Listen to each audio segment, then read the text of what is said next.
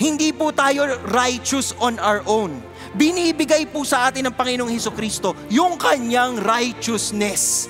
Kaya po niya tayo nakikita, kaya po niya tayo minamahal dahil righteousness ni Jesus Christ yung ipinapatong sa atin.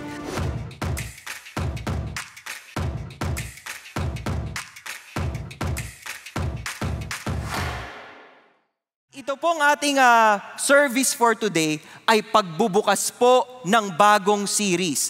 Pangalawang series na po natin ngayon, ang title po ay What's the Real Solution? Okay? Ano ba talaga yung solusyon? Kung yung last series natin, we talked about the problem. Gaano kalala yung problema? Gaano kalaki yung problema ng tao? Ngayon, pag-uusapan natin, paano to susolusyonan? Okay ba yon? Pakita ko po muna sa inyo yung buong book ng Romans para may overview po tayo. Ang pag-aaral po natin ng Romans simula chapter 1 hanggang chapter 16. At nanggaling na po tayo dito sa chapter 1 kung saan ang pinag-usapan po natin anong problema natin? Sin, kasalanan. Ngayon po, pumapasok tayo at nagpapatuloy sa chapter 3 na umpisahan na natin to last week kay Pastor Marty at pagpapatuloy natin ngayon hanggang chapter 5 tapos po pag-uusapan natin yung sanctification. Paano ba tayo nagiging banal? Paano ba tayo nagiging malinis? Sino po dito may kasalanan? Nagkasala na. Pakitaas po kamay. Okay, kasi taas niyo lang po, huwag kayong mapagod. Okay? Patataas kasi hahanapin ko yung hindi pa nagkasala at sasabihin ko, ikaw na lang mag-speak dito. Mukhang wala. Wala, no? Lahat nagkasala. O, yun ang totoo eh. So, paano tayo magiging righteous? Yun ang topic ng, ng series na ito. Susunod dyan, paano natin patuloy na mabu- sasabuhay yung holiness. Sanctification po ang pag-uusapan natin doon sa chapter 6 to 8. At chapters 9 to 11, ito po pag inaaral sa Bible, feeling natin hindi ito tungkol sa atin. Kasi tungkol siya sa Israel. Eh, ano bang kinalaman ng Pilipinas sa Israel? Di ba? Ang layo-layo naman natin. Pero hindi po yun ang focus. Ang focus po ng chapter 9 to 11, kung gaano ka-sovereign ng Panginoon at kahit anong mangyari, kahit anong mangyari dito sa Pilipinas o saan mang lupalop ng mundo, Diyos siya at nasa trono siya at patuloy siyang magiging Diyos hamagpakailanman. Yun po ang bida. Okay? Tapos pagdating niyo po ng 12 to 16, ito po ay service. Meaning, pagkatapos nating nalaman lahat ito, paano natin isa sa buhay? Paano tayo maglilingkod sa Panginoon na alam natin na, naku Lord, after mo kong i-redeem, after mong ipakita sa akin na makasalanan ako, paano mo ako gagamitin? Ang mensahe natin ngayon, the best news, ano daw po yung best news? You can be sure of heaven. Pwedeng pwede kayong makasiguro na kayo ay pupunta sa langit. Paano tayo makakasiguro na tayo ay pupunta sa langit? Ito po ang pag-aaralan natin. A, B, C. Admit. Aamin tayo. Aminin mo, aminin mo. Anong aaminin? Aalamin natin. Pangalawa, believe. Diba? Meron tayong pagkakatiwalaan. Meron tayong paniniwalaang iba. Okay? At C, commit. A, B, C. Kapag po may nagtanong sa inyo, bakit ka Christian? Bakit ka Kristiyano? Ano bang kaibahan ng Kristiyano sa ibang relihiyon? Ganyan ka magpapaliwanag. Ay, ABC, mabilis.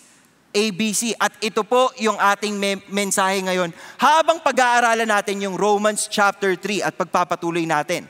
Ang una po nating punto ay, aminin mo, aminin mo. Ano nga aminin? Aaminin nating tayo ay makasalanan.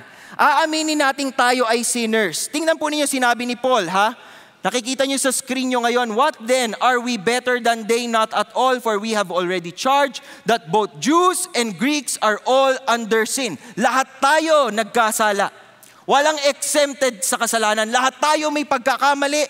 Lahat tayo nagkamali na sa buhay, kahit po sa inyo ngayon dito. Lahat po tayo nagkasala. Tingnan mo po, uh, sinabi ni Paul, kinokote po ni Paul ang Ecclesiastes chapter 7 verse 20. Sabi niya, There is none righteous, not even one. Kaya po kung merong magke-claim sa atin na ako righteous ako ah. Ako hindi pa ako nagkasala. Ako wala akong problema, matinong tao ako ha. Wala daw. Sabi sa Bible, wala eh. Di ba? None righteous, not even one. None who understands. None who seeks for God. Tapos kinote po ni Paul ang Psalm 14 verse 1 to 3 at saka ang Psalm 53 verses 1 to 3. Bakit nagko-quote si Paul ng mga Old Testament scriptures? Kinukuha po niya yung mga scriptures na nagpapatotoo doon sa kanyang punto at pinagsasama-sama niya sila upang mapinta yung totoong picture. Totoong picture ng problema nating lahat. Ano po yung problema natin? Lahat tayo nagkamali, lahat tayo nagkasala. All have turned aside together, they have become useless. There is none who does good, not even one. Kahit isa walang mabait. Pagkatapos niyan, sinabi po ni Paul, tingnan niyo tong ginawa ni Paul ha, gumamit siya ng mga verse na nagbabanggit ng katawan ng tao. Para ipakita na lahat tayo guilty. Sabi niya, their throat is an open grave. Alam niyo po ibig sabihin nun? Yung kanila daw mga bunganga ay parang mga bukas na hukay. Ano bang ibig sabihin pag bukas ang hukay? Mabaho Bad breath. Hindi po yun ang ibig sabihin. Ang ibig sabihin po, nakamamatay yung kanilang mga salita. Walang mabuting lumalabas sa kanilang bibig. Nanlalait sila, nang aaway sila, naninigaw sila, etong ginagawa nila, eto, nagsisinungaling sila, naninira sila ng kapwa. Yun ang problema. Their tongues keep deceiving. Ayan, ako. Diba, alam nyo na yan. The poison of asps is under their lips, whose mouth is full of cursing and bitterness. So bibig pa lang may problema na. Their feet are swift to shed blood, destruction and misery are in their paths, and the path of peace they have not known. There is no fear of God before their eyes. Kaya nga po itong sinabi ni, ni Pablo sa Romans chapter 3, 19 to 20. Now we know that whatever the law says, it speaks to those who are under the law. Okay? Kung meron pong kautusan ng Diyos, ang kausap po nun kung sinong inuto, inutusan ng Diyos. Sa kanila applicable yung law. Okay? So that every mouth may be closed para matameme sila. Matameme, ibig sabihin wala silang masasabi. Oops, naku mali. Naku, guilty ako dyan. Ako, nahihiya ako. Di ba pag guilty tayo, wala tayong masabi? Yung alam nyo, pag may nagawa kayong mali, ayaw nyo nang humarap. Kasi mahuhukay lang, mahuhulog lang kayo na mahuhulog sa hukay. Eh. Di ba? Ganon yun, di ba? Kaya nga yung sinasabi ni Paul, under the law, ito pag yung utos eh na, nananalaytay sa inyo, alam nyo yung truth, pero di nyo ginagawa, tameme kayo. And all the world may become accountable to God dahil sagot natin yun sa Panginoon. Sinabi nga po sa atin ni Pastor Bong, ni Pastor Marty, ang katotohanan, alam natin ang tama at mali, pero pinipili natin yung mali. Di ba? Because by the works of the law, no flesh will be justified. Wala pong na-announce as righteous dahil sa law. Ano pong ginagawa ng law? Ano pong ginagawa ng scripture? Pag kayo po ay nagbasa ng Bible at nakita po ninyo mga commandments sa Biblia, ano pong ginagawa ng, ng mga law? Pinapakita po sa atin ang kasalanan natin. Di ba? Through the law comes the knowledge of sin. Dahil sa salita ng Diyos, nakikita po natin ang tama at saka po ang mali. Malinaw? Malinaw po ba mga kapatid? Okay. Kaya naman, yun ang kailangan nating i-admit. Aamin tayo. Aamin tayong may pagkakamali tayo. Aamin po tayong may pagkukulang tayo. Aamin po tayo na talagang hindi natin nasusunod ang kagustuhan ng Panginoon sa ating buhay sa araw-araw, oras-oras, minu-minuto. Nagkakamali tayong lahat. Yun po ang pinakamalinaw. At aamin dapat tayo doon sa katotohanan na yon. Susunod, meron din tayong kakapitan kailangan nating ng kakapitan. Yung papaniwalaan natin. Okay, alam mo na na marami kang mali, saan ako ngayon kakapit, saan ako ngayon maniniwala. Ito po ang sabi ni Apostle Pablo, Romans chapter 3 verse 21 to 23 at ito po ay sikat na sikat. Sabi po ni Paul, But now apart from the law, the righteousness of God has been manifested. Napakaganda po nito sa Tagalog. Ibig sabihin daw, Now, Bukod pa sa kautusan na nakikita sa Biblia, nagpakita na ang katuwiran ng Panginoon sa ating lahat. Sa paanong paraan? Sa paanong paraan? Sabi, being witnessed by the law and the prophets. Kumbaga, naging teaser na po. Tineaser na po ng Old Testament sa atin. Sino po yun? Yun po ang ating Panginoong Jesus. Sabi po sa verse 20, Even the righteousness of God through faith in Jesus Christ for all those who believe. Pwede nating manahin yung righteousness o katuwiran ng ating Panginoong Heso Kristo. For there is no distinction, for all have sinned and fall short of the glory of God. Lahat tayo nagkamali, lahat tayo nagkasala. Pero available pa rin po yung righteousness ng Panginoon. Alam niyo yung salitang righteousness, 30 times nag-appear sa Romans. Pinakamaraming beses pong nag-appear ang salitang righteousness sa book of Romans. Pero kung titignan po ninyo yung root word o yung totoong Greek word, mas maraming beses pa. Dahil yung Greek word na ginamit for righteousness, yun di po ang ginagamit for justified, for justification. Kaya naman tuloy-tuloy yan. Makikita nyo dito sa Romans chapter 3. Ito po ang pag-aaralan natin. All have sinned and fall short of the glory of God. Lahat tayo, walang exemption. Pero tingnan po ninyo mga salitang naka-highlight. Being justified as a gift by His grace through the redemption which is in Christ Jesus, whom God displayed publicly as a propitiation in His blood through faith. Pag nagbabasa po kayo ng Romans, parang piling nyo, ah, nosebleed naman to. Hindi ko nagigets, bakit ganyan? Bakit ang daming mga salita? O, aralin po natin isa-isa yung mga salita. Ha? Sa, Unahin na natin to. Justified. Ano ibig sabihin ng justified? Okay? Pag justification po, ang nakikita nyo dyan, eh paghatol. Kahit guilty tayo, kahit nagkamali tayo, napawalang sala tayo. Sino po dito nagkasala na, nagkasala na, taas po ang kamay? Nagkamali na kayo. You did something wrong in the past. Okay. Thank you po sa pagiging honest. Pag tayo po tumayo sa harap ng Panginoon, lahat tayo guilty beyond reasonable doubt. Bang, bang! At dapat po, mapupunta tayong impyerno. Pero pag justification po, you are declared to be just or righteous. It is a legal term na naa-acquit po tayo kahit alam na may kaso tayo, na-acquit tayo. Ano bang ibig sabihin nito, Brother Paul? Justification po to be declared not guilty. Hindi lang po kayo pinatawad, kinalimutan talaga. Walang-wala kayong kasalanan. Yun po ang justification. Sabi po dito, it is God declaring us, hindi po man ang nagde-declare. Kapag po kasi ako lang nagsabi, okay, kuya, wala ka na pong kasalanan. Sinong maniniwala sa iyo, kuya? Kapag po tumayo ka sa labas ng CCF at sinabing, wala akong kasalanan. Sinong may sabi? Si Paul. Diba? Hala, sino yun? Diba? Pero ang Panginoon po ang nagdideklara sa atin na wala tayong kasalanan. Tinapos po niya yung kwento. Okay? It is a legal term, your record is now clean. Parang al- ikaw alam mo sa sarili mo may mali akong ginawa, pero hindi lumabas sa record ko. Ang sarap sa feeling, di ba? It is a gift. Ang ginagawa po ng Panginoon, nilalagay po sa atin yung kanyang righteousness. Hindi po tayo righteous on our own. Binibigay po sa atin ng Panginoong Heso Kristo yung kanyang righteousness. Kaya po niya tayo nakikita, kaya po niya tayo minamahal dahil righteousness ni Jesus Christ yung ipinapatong sa atin. Sumunod na salita pong gusto kong i-highlight.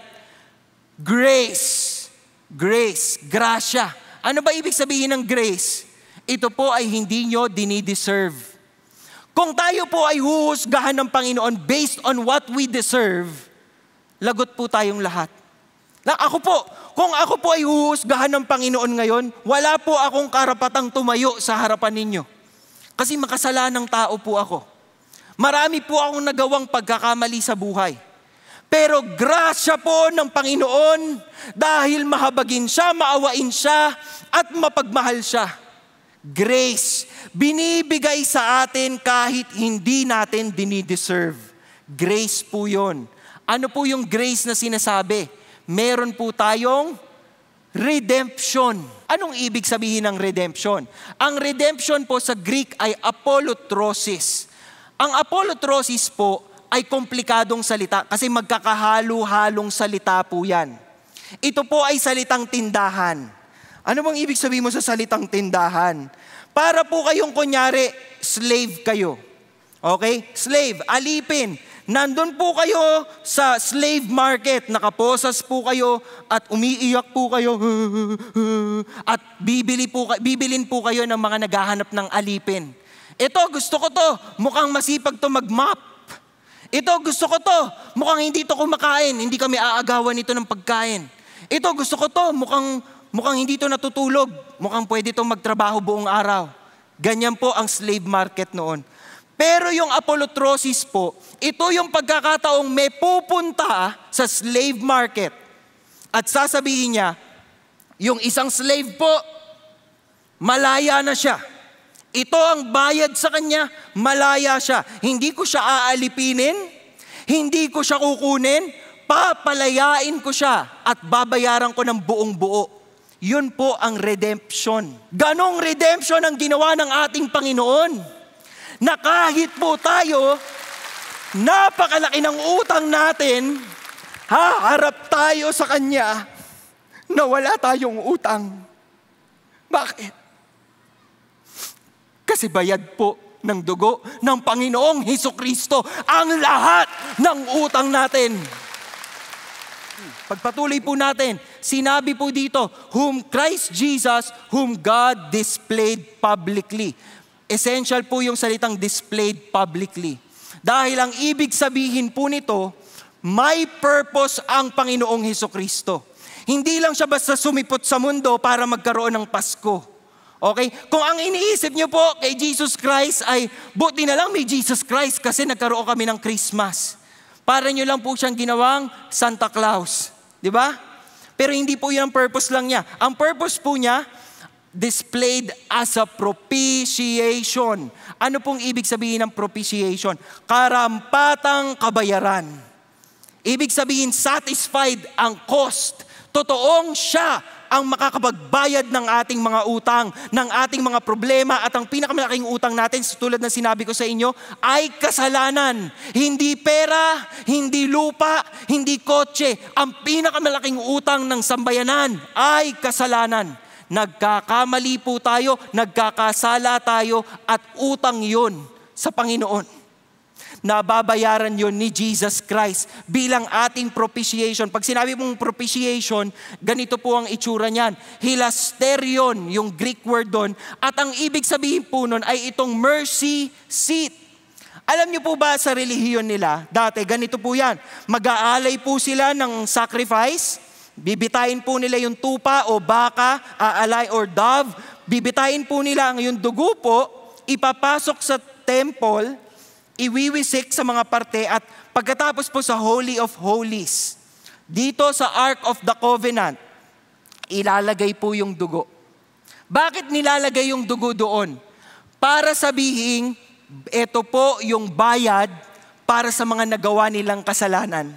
Iwiwisik po yung dugo doon. Ganun po ang ibig sabihin ng propitiation. At ang Panginoong Heso Kristo daw po, according to John, in 1 John 4 verse 10, In this is love, not that we loved God, but that He loved us and sent His Son to be the propitiation for our sins. Siya po ang nararapat na kabayaran para sa, sa lahat ng ating mga kasalanan. Lumalaya tayo dahil sa Panginoong Heso Kristo. Ano pong ibig sabihin yan? Na-satisfy ng Panginoon. Na-satisfy ng Panginoon ang justice. Dahil inaabangan po tayo eh ng buong mundo, ng mga demonyo, ng mga anghel. Paano kaya, paano kaya paparusahan ni God lahat ng tao sa mundo? Dahil lahat sila nagkasala. Paano kaya ang parusa sa kanila? Ang parusa po, sinalo lahat ni Jesus Christ. Kaya po sa pag-alay ni Jesus Christ ng kanyang buhay, naging handa at kaya na po tayong mahalin at tanggapin ang ating Panginoon. Dahil napatawad na po ang ating mga kasalanan dahil kay Jesus Christ. Pero ito po ay natatamasa natin. Anong sabi dito sa verse? Through faith.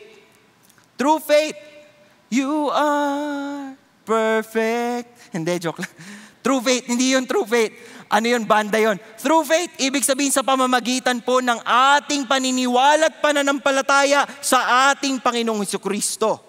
Ang ibig sabihin po ng faith, alam nyo, totoo ang ginawa ng Panginoong Heso Kristo para sa inyo. Totoong binayaran niya ang ating mga kasalanan at totoong pinalaya niya tayo sa ating mga problema. Malayang malaya tayo dahil sa mga ginawa ng ating Panginoon. Kaya ang tanong, gusto nyo bang lumaya? Sino dito gustong lumaya sa kasalanan nila? O, di ba? Ang good news po ito. Pinapalaya kayo ngayon ni Jesus Christ dahil sa ginawa niya sa krus. Dahil sa kanyang sacrifice. Tingnan po ninyo ito. This was to demonstrate His righteousness. Alam niyo po, maraming, maraming taong nagsasabi na si God daw unfair. Bakit unfair? Kasi sa dami ng mga pagkakasala sa Old Testament, bakit hindi pa sila pinatay lahat ni God? Ba, kine-question po yung righteousness ni God. Kasi kung righteous siya, dapat pag merong kasalanan, may katapat na parusa. Bakit buhay pa rin sila? Bakit pinili pa rin niyo yung Israel? Bakit ganito pa rin? Ganun po ang tanong. Pero tingnan po ninyo. Because in the forbearance of God, dahil nagtiis, dahil nagtimpi si God, He passed over. Ibig sabihin, pinalampas po niya yung mga kasalanan noon. Okay? Dahil nagtitiis siya. For the demonstration, I say, of His righteousness at the present time, so that He would be just and the justifier of the one who has faith in Jesus ang ibig sabihin po nito. Pero ngayon, pinakita ng Panginoon na He is a righteous God. Sa paanong paraan? Binigay po niya yung justice that our sins deserved at lahat po yon ay kinarga ng Panginoong Heso Kristo sa krus. Lahat po ng mga kasalanang pinipili nating gawin, oh, gusto ko mag-sin today ah. Parang last week wala ako masyadong sin ah. Gusto ko naman mag-sin today. Meron bang mga ganun sa inyo dito? Parang ang tagal na nating hindi tayo nagsisin. Eh, sige, mag-sin tayo ng isa. Nakakaloko kasi itong mukha nitong anong to, eh, kapit-bahay ko eh. Sige, batuhin ko lang ng ano. Batuhin ko lang. Kung ano mang gusto mong batuhin sa kanya. Di ba? Sayang yung buhay. Kasi kung tinubos ka na, kung pinalaya ka na, bakit babalik ka pa sa mali? Bakit babalik ka pa sa problema? Bakit babalik ka pa sa kasalanan? Kung tayo'y pinalaya ng Panginoon, dapat tunay tayong malaya. Pero tingnan po niyo yung grace ng Panginoon. Nag-extend po siya ng grace sa ating lahat at yung pinakamalaking grace pong ibinigay sa atin ng Panginoon, eh yung isugo niya yung kanyang nagbugtong na anak, yung nag-iisa po niyang anak, si Jesus Christ, para po magbayad para sa atin. Kaya nga po ang pinagtataka ko, bakit kaya ayaw ng mga tao kay Jesus? Eh ang laki-laki ng ginawa ni Jesus para sa atin. At doon naman po sa mga Kristiyano, mer- Kristiyano na po kayo, taas kamay. Ibig sabihin, sinusunod niyo na po ang Panginoon. Kilala niyo siya bilang inyong tunay na Diyos sa tagapagligtas. Si Jesus Christ ang Diyos na tagapagligtas ko. Kristiyano kayo, taas niyo kamay niyo. Kayo po ba nagsishare kayo ng gospel? Di ba? Kung totoong nakakapagbabago ng buhay ang Panginoon, gawin natin. Dahil marami pa po sa mundo nangangailangan ng mabuting balita marinig po nila yon sa atin. Ano po ang ating commitment? Kasi hindi po pwedeng oo lang tayo ng oo. Dapat meron din tayong gagawin. Tingnan niyo po ito. Sabi ni Pablo, where then is boasting? Meron bang pwedeng magyabang? Wala. Bakit? By what kind of law of works? Dahil ba sinusukat tayo sa ugali, sa gawa? Hindi daw. But by a law of faith pananampalataya. Kaya ang tanong, ang pananampalataya nyo ba ay nasa Panginoong Heso Kristo o nasa ibang bagay? Kasi po, tingnan nyo to, verse 28 at ito po ang memory verse natin for the week. For we maintain that a man is justified by faith apart from works of the law. Hindi po sa pagsunod lang tayo naliligtas. Minsan po tayo kumakapit tayo sa alam natin. Hindi natin naiisip na minsan hindi siya sa kung anong alam natin. Minsan, doon talaga siya sa hindi natin nakikita, hindi natin naiintindihan, pero alam nating ibinigay sa atin yung kaawaan ng ating Panginoon. At inalay niya si Jesus para sa atin. Yung buhay ni Jesus, inalay po para sa buhay natin. Hindi na ngayon natin kailangan lumuhod, magpakapagod po tayo, lumuhod-luhod tayo sa kahit saan. Hindi po ganun ang buhay. Hindi na po natin kailangan magpapako sa krus. Hello! Anong dugo ang uh, anong dugo ang kung nagpapako ako sa krus, anong dugong lalabas doon? Dugo lang ng makasalanan 'yon. Anong sinasabi natin? Maniniwala tayong sapat ang ginawa ng Panginoong Heso Kristo para sa mga buhay natin. Dahil siya lang po ang may kakayahang magbayad ng lahat ng utang natin. Yan po ang totoo. Kaya nga po sinabi ni Titus, at nabanggit po sa inyo to ni Pastor Marty, the grace of God has appeared, bringing salvation to all men. Okay, naligtas na tayong lahat, wala tayong problema. Yeah, okay na kami. Saved na kami by grace, through faith. Yeah. Hindi pwede. Hindi pwede. Sino niloloko mo? Di ba? Lalabas kayo ng simbahang to ngayon, sabihin nyo, eh, save na pala kami, halika na, mag-ano na tayo dito. O magpustahan na tayo dito palagi, mag-inuman na tayo dito sa kanto. Eh, sinabi niya, ano, ni Paul doon sa CGF, okay na daw. Ay, inuman na tayong lahat. Eh, hindi ganun. Hindi pwede. Dahil yung kaligtasang ibinibigay sa atin, binabago rin tayo at itinuturuan tayo na tanggalin na yung worldly desires. Mabuhay ng tama, mabuhay ng righteous, mabuhay na godly even in the present time. Kaya ba yon Paul? Kaya ba yung gawin? May makasalanan ng mundo, maraming temptation. La, may kanta pa nga eh, O tukso, layuan mo ako. Alam mo, tatanungin mo sa taong kumakanta nung ganon, ikaw kaya lumayo? Di ba? Bakit kakantahan mo pa si Tukso? Bakit mo pa sasabihin kay Tukso, layuan mo ako, layuan mo ako, pero hindi ka gumagalaw? Ikaw mismo, gumalaw ka. Kasi hindi ka na katulad ng dati.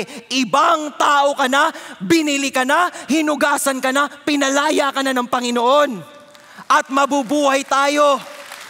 Mabubuhay tayong malaya Mabubuhay tayo, we are free because our sins were paid for by Jesus Christ on the cross. Ang commitment, pinapatunayan.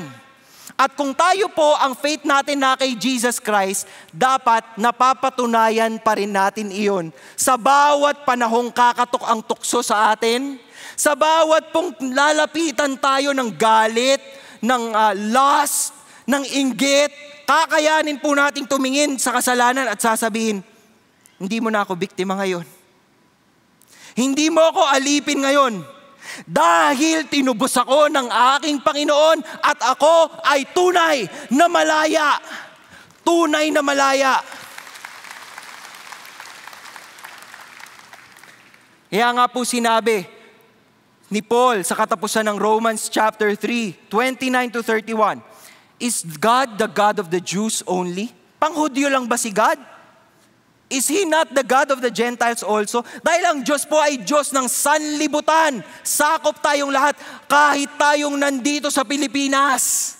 Yes, of the Gentiles also. Since indeed God who will justify the circumcised by faith and the uncircumcised through faith is one. Iisa lamang po siya at lahat tayo by faith in Him naliligtas. Do we then nullify the law through faith. Ibig sabihin ba yan, wag ko nang basahin yung Bible? Kasi ligtas na ako eh. Yun po yung tanong.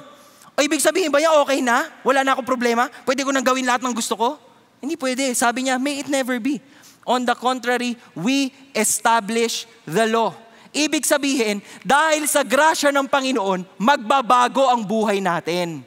Magdidesisyon tayong ang kokopyahin natin, ang kokopyahin ng buhay natin, si Jesus Christ. Hindi na yung mga idol natin na kung ano-anong ginagawa. Ang buhay natin magiging wasto as we look to Jesus, the author and perfecter of our faith. Ngayon, sa pagtatapos ng mensaheng ito, Pwedeng hindi nyo patutoong sinuko ang inyong buhay sa Panginoong Heso Kristo. At sinasabi ko sa inyo, napakahalaga po nito. Kung ako po, huling hininga ko na to at huling mensahe ko na to, sabi ko sa Panginoon, Lord, Hayaan mo. Hayaan mong, hayaan mong makita nila yung truth mo. Dahil wala po akong ibang gustong sabihin sa inyo kundi ang katotohanan na ginawa ni Jesus ang lahat para iligtas po kayo. At ang tanong ngayong araw na ito, are you willing? Are you willing to admit that you are a sinner? Are you willing to believe that Jesus died on the cross to pay for your sins? And are you willing to commit your life to Him? Bibigay mo yung buong buhay mo sa Kanya at sasabihin, Panginoon, sa iyo ako, Panginoon, iyong iyo ng buong buhay ko, sinusuko ko to sa iyo. Kung yun po ay dasal ninyo ngayon, ang imbitasyon ko po ay ito. Silipin po ninyo yung inyong mga puso. Seryoso po ako. Huwag niya kayo tumingin sa mga katabi ninyo.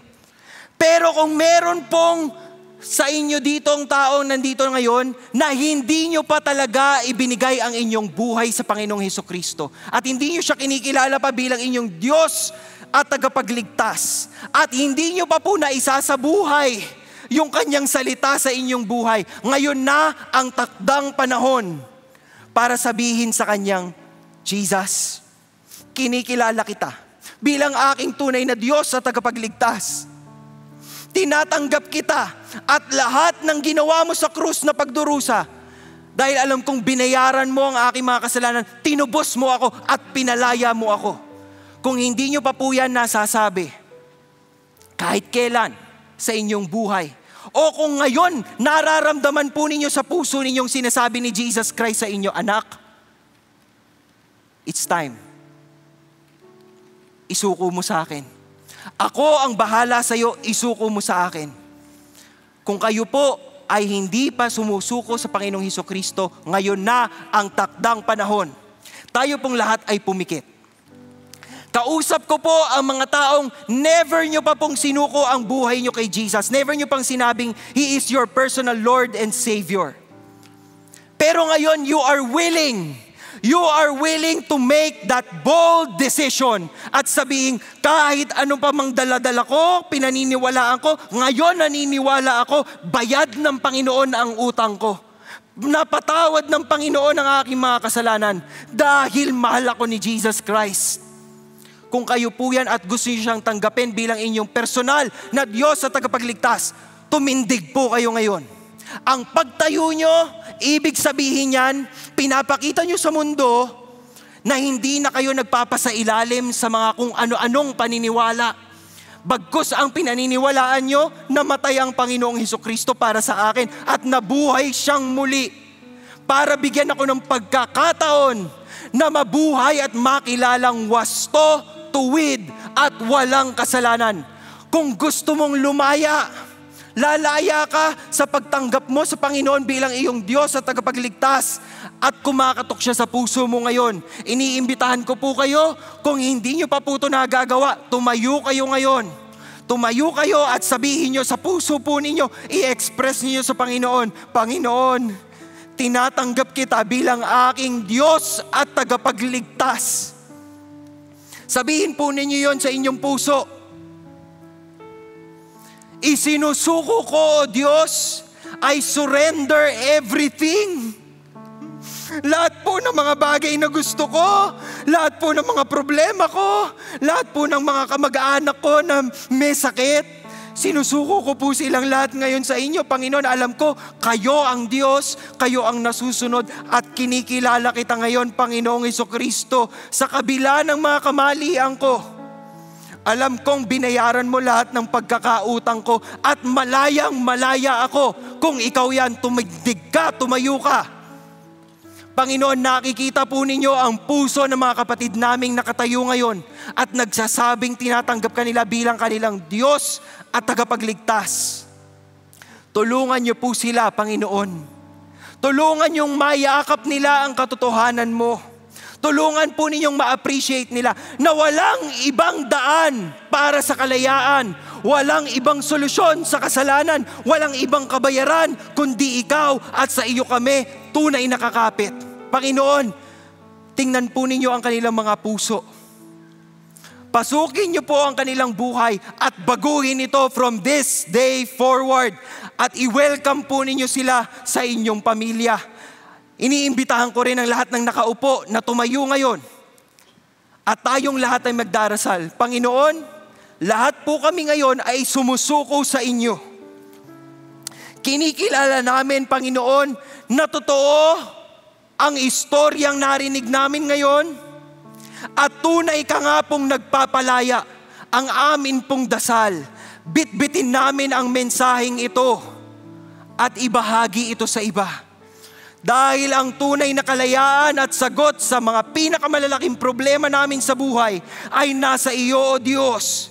Kaya po dinideklara namin dito sa aming simbahan at sa kung saan pa man po nanonood ang aming mga kapatid, kayo po ang tunay na Diyos o Kristo at ang aming Savior, tagapagligtas. Maraming salamat Panginoon dahil pinalaya niyo po ang bawat isa sa amin pagpatuloy po ninyo kaming mag-grow sa inyong presensya at baguhin ang aming mga buhay. Sa pangalan ng aming Panginoong Yesus, lahat po ay magsabi ng Amen at Amen. Maraming salamat po.